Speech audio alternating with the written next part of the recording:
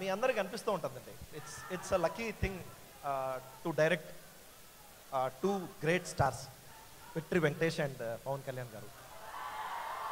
నిజంగా అది చాలా అదృష్టం అండి.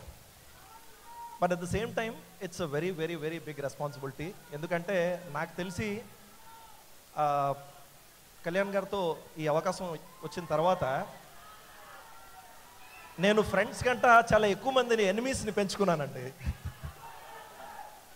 ఎందుకంటే ఈ షోకి పాసులు ఇవ్వలేదని చాలామంది నాతో మాట్లాడడం మానేశారు. ఆయనతో ఫోటో దిగలేదని చెప్పి చాలామంది మా ఇంట్లో వాళ్ళే నాతో మాట్లాడడం మానేశారు. అయ్యో లేదండి ఇంకా నేనే నేను అయితే ఫోటో దిగలేదండి అని చెప్పినా ఎవరు నమ్మట్లేదు వినట్లేదు. It's it's very difficult to actually handle this but then ఈ సినిమా జరుగుతున్న సేపు ఏ పాయింట్లోనే నాకు ఆ ఫీలింగ్ రాలేదండి. It was it was really really comfortable Venkatesh garu ఎక్స్పీరియన్స్తో he guided me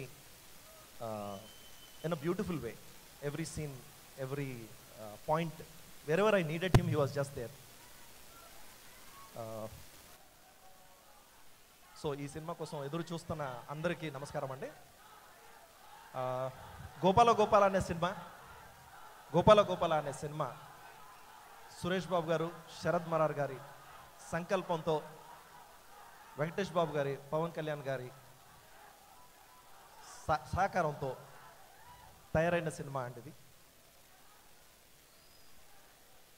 ఈ అవకాశం నాకు ఇచ్చినందుకు నేను వాళ్ళకి ఎప్పుడు రుణపడి ఉంటానండి.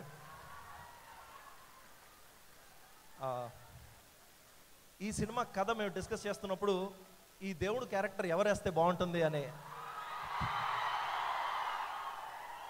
మేము అనుకున్నప్పుడు ఖచ్చితంగా ఆ క్యారెక్టర్ దేవుడిలా కనిపించాలి